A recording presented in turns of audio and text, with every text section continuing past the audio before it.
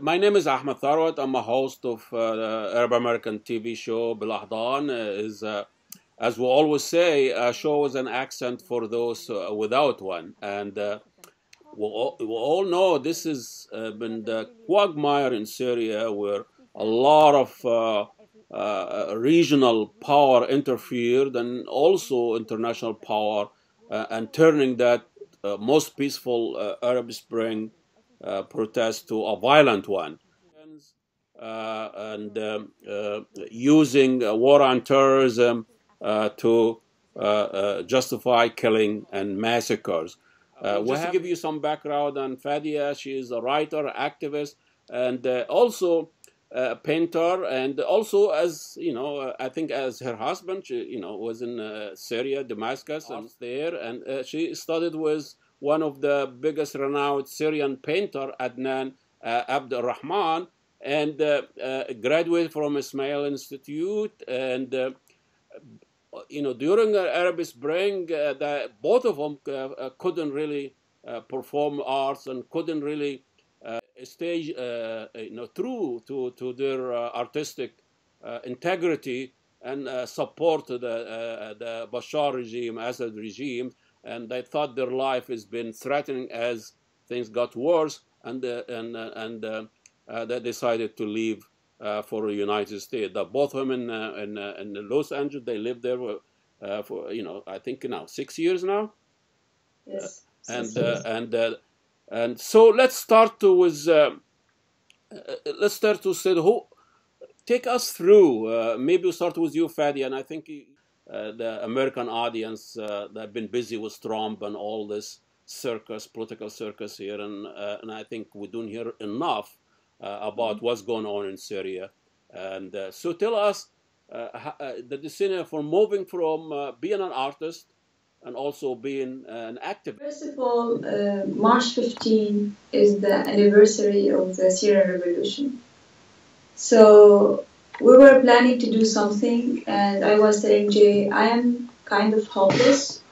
I felt like um, powerless because I have been trying to raise awareness about the Syrian genocide for a long time, and I was I felt I am not doing any progress. Uh, in the U.S., it's a very big country. The news does not cover Syria. People don't know anything about Syria. A lot of American I talk to, they think there is no war anymore in Syria. So they don't really understand that every second we are like living, there is an innocent child, innocent women, innocent man is dying from different, now from different uh, actors in Syria, unfortunately. So because we felt we don't have power, we thought maybe if we followed Gandhi method, because Gandhi he used this to stop many uh, many things happening in his country, and he was very powerful, and I admire him so much. And I thought about him, I read about him, and I read how he did it, and he's my role model. I think I will do exactly what Gandhi did, with hope that people will understand how urgent it is. Because I'm hoping that people will understand our suffering now, understand why we are doing this, understand how urgent the matter is. And this is why we decided to do that with hope that the media will pick up the news, people will join us, people will share that, and with hope that we started something and hopefully that will end. Tell me uh, the difference between um, you know raising awareness through a, hunger strike and uh, having like an art show of your work that reflects what's going on in Syria, which was very very impressive. And uh, are you reaching a different audience, or are you trying to have a different uh, uh, raise the bar a little bit? Uh, you know, uh, uh, artists' uh, uh, role also are just trying to create a possibilities uh, to a solution, and that, that was the way of thinking. Look, I tried to do many exhibitions here in Los Angeles, and I noticed that the same kind of audience they will come to my exhibition over and over. the kind of audience they came to my exhibition, people that are already open-minded, people that are already informed, because people who are interested in art in general, they, they are in a certain level of education. So I wanted to reach out to different audience, honestly. Like I was thinking, here America is the culture of food. It's the culture of eating. like every American I would meet, the first question he would ask me, ah, oh, what is the best restaurant, your favorite restaurant you go to? Uh, are you able to find the Middle Eastern food in your neighborhood? Mm-hmm. These are the questions. So I was thinking maybe like going to the extreme, preventing yourself from eating as a kind of protest, it will really draw their attention. This is my hope. I'm hoping that because they admire and they love food, and, and food is great aspect of any culture. So I wanted to draw their attention, tell them how urgent it is. Imagine I live in Los Angeles where you can find any ethnic food you want, you can find anything you want, and you, you can crave anything and eat anything you want, and you enjoy it. I am depriving myself from that to tell you uh, it's not okay. I cannot go on with my life because people are dying. Massacres. Uh, we have here um, uh, uh Jay Abdo, who is a Syrian American actor uh, based in Los, Los Angeles now, where he is now. Was born in '62 in Damascus. Was fascinating in acting early age, and especially, uh, especially the classic one, Doctor Zhivago and Godfather, and all those movies that we grow up with. He got interested and perform and uh, different performance over there uh, went to Romania, studied there. Tell, tell, us how did you join uh, this uh, this project? Well, uh, to be honest with you, we are not only husband and wife. We are partners in everything in this life. We're friends. We're partners. We're um, even before you got married. Yeah, exactly, exactly. Our our mind is on all, almost on the same page. So we try uh, to plan for our lives in on in the same you know project in the same route on the same road.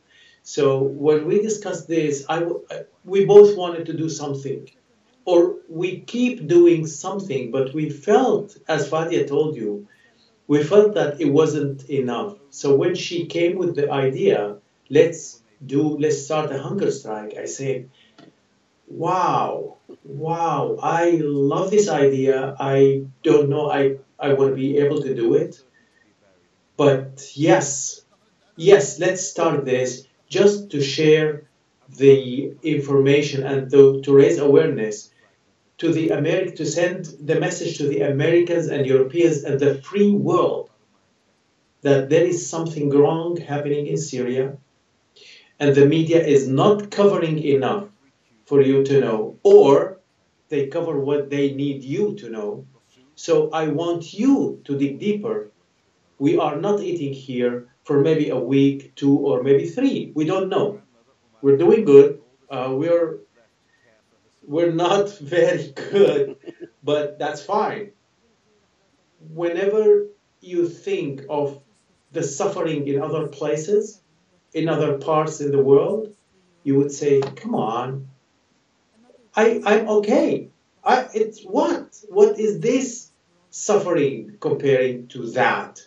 To those crossing borders, walking days and nights on mines, you know, walking through the mines or crossing the seas or the waters, drowning, losing their beloved, um, watching their beloved killed in front of them, doing nothing, I mean, un- being incapable to do anything. So our suffering is nothing, is almost zero comparing to theirs. Uh, your mind is not uh, not the only one on the same page. You're also your stomach has to be on the same on the same yes. page. Yes. Uh, I know. Tell us the logistics of it. How does it work? First of all, I read a lot about it, many research, and um, it's all in the mind.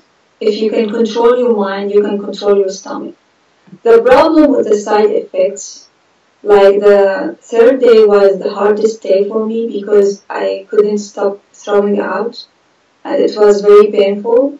My stomach was acting very weird, I don't know why. Uh, for Jay, his um, joints, he has a lot of pain in his joint and he has a headache. So every day is different. I couldn't go to work on Friday. I, I called and told them I'm very sick, I'm sorry. I can't. Many research. Uh, I read about the Chinese method of fasting. I read about, and I believe in nature. I'm hoping my organs will act good because it's different from person to another. But uh, there are symptoms, and, and our body will tell us. So we are planning to do this as much as long as we can.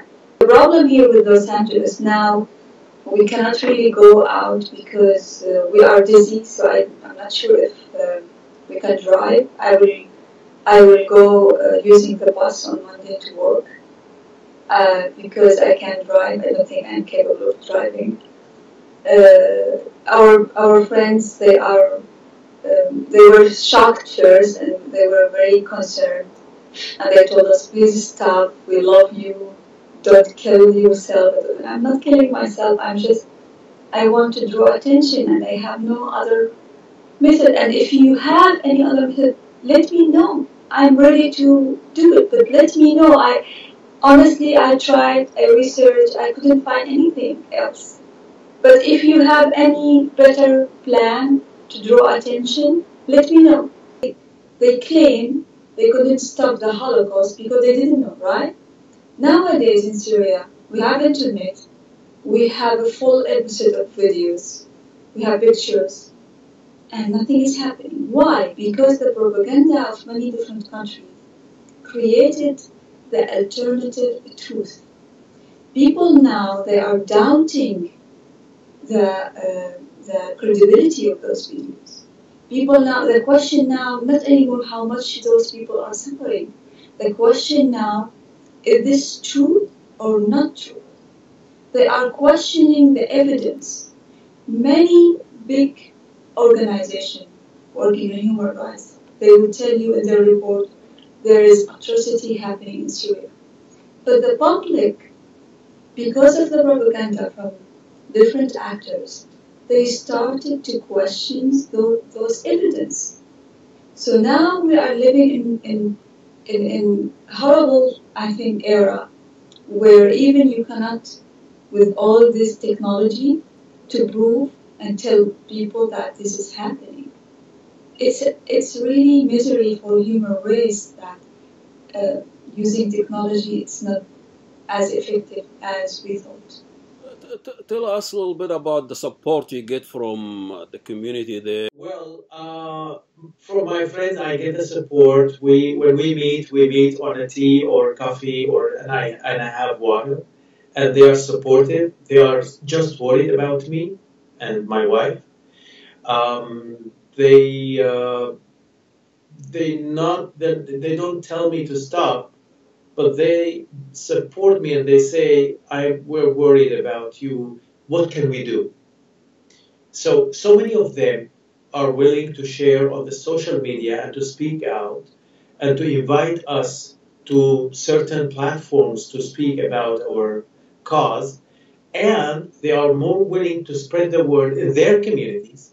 I'm talking about all kind of um, people living in, in, in California, all religions, races, um, ethnic background or cultural background, which is amazing to uh, not stick with the Syrian community and to get out to other people who are not used to talk to you and spread your your case and finding them being, being willing, I mean, being very happy to listen and to invite their, their community to listen to our cause, which is amazing. I mean, I think we are doing.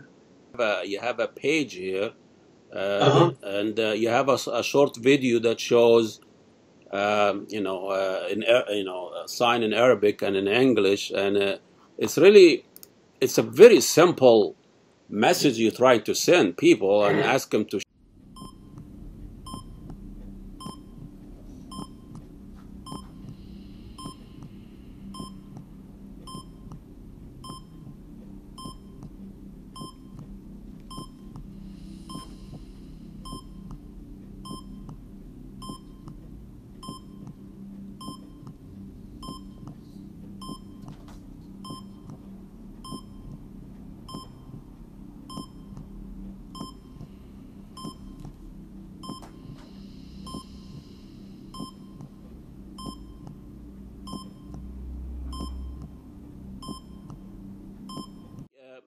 Fadia, you try to, to reach uh, also an Arabic uh, audience. Uh, maybe reaction of the Arab community, Arab American, also when they hear about this back home. Okay, Whatever I- is left of the home, Yeah. are we talking about? We wrote that in Arabic because every day, every day we have tons of messages in social media from people inside Syria asking us to help them. Many people of them died because we lost connection with. And I wrote that in Arabic just to send a message, message, message to them, tell them, telling them, we are with you, we feel you, we'll never forget about you. This is why we wrote this in Arabic. We want to tell them we are, because a lot of people will accuse us, oh, you live in Los Angeles, you have a great life, you don't care anymore. Reality, our life in every single second is thinking about Syria. Every chance we have to raise awareness, we don't stop. Uh, this is for the Arabic. For the English, I wrote that in English because my aim is the English speaking audience. I want to let them know it's not okay. So, what is the difference? We, we have been talking a lot, right? And our friends around us, we have community, we have connection now in the US, around the US because of our presentation. But I think it's like you don't we have in Arabic you say you don't know how much you love someone unless you start to feel you are losing him. Fadia, I mean, with all this ugly uh, reality that uh, in, in which Syria are living now, and uh, you are facing this uh, ugliness with beauty, with uh, non-violence, uh, which is hunger, also your art, which is, uh, you know, it's fascinating how you can produce so much beauty out of this uh, tragedy. Keep painting, keep myself non-violent is the way, is my statement in life that I am still alive. The minute they stop me from producing beauty and doing non-violence activism, that does mean they killed me. You know what? In the trial of Ceausescu, they told him, We are sending you to death, not because you gave order to kill those people in Timisoara and in other cities, but above all, for killing the Romanian spirit for 43 years in a row. Uh, they decided to, to, after seven years of killing and massacre and uh, destruction in Syria, uh, the least they can do, they can go on hunger strike and raise awareness uh, of uh, all this madness uh, in Syria. And uh, let's stop killing and let's find different ways. And that's, I think, the role of art uh, or the or the artist is to create a possibility and uh, creating possibility to to what's going on in Syria. Uh, it is the way go. Thank you so much, and I appreciate your.